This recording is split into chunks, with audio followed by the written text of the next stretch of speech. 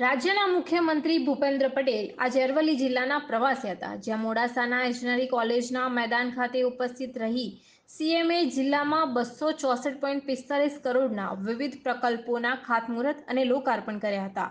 ત્યારે મોડાસા ખાતે મુખ્યમંત્રીનું ઉષ્માભેર સ્વાગત કરવામાં આવ્યું હતું.